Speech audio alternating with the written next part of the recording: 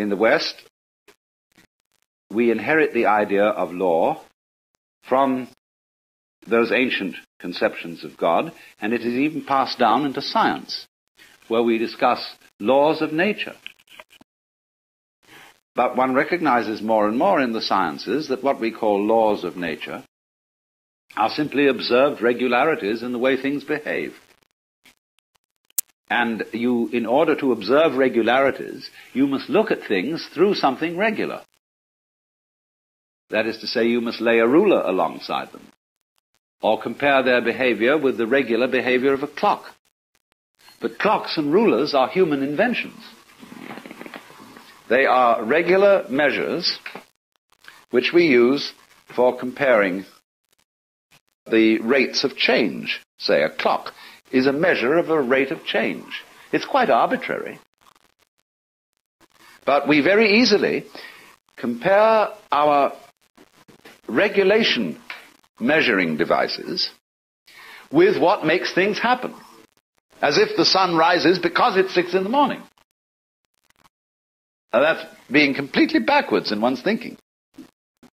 And we get into the same confusion when we imagine, for example, that money is wealth.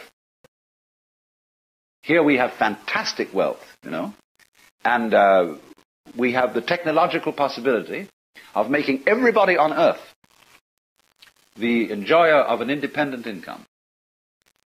We can't do it because people say, where's the money going to come from? Because they think money makes prosperity. It's the other way around. It's, it's, it's physical pro- uh, prosperity, which has money as a way of measuring it. But people think money has to come from somewhere, like uh, hydroelectric power or lumber or iron, and it doesn't. Money is something we invent, like inches. So you remember the Great Depression? When uh, there was a slump? And what did we have a slump of? Money.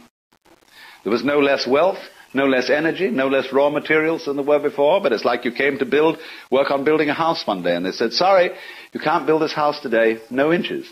What do you mean no inches? Ah, just inches. We don't mean uh, we got inches of lumber. Yes, we've got um, inches of metal. We've even got tape measures. But there's a slump in inches as such, you see. And people are that crazy. They, they can have a depression uh, because they've got, got, no inches to go around, or, or, or no dollars. That's all a lot of nonsense.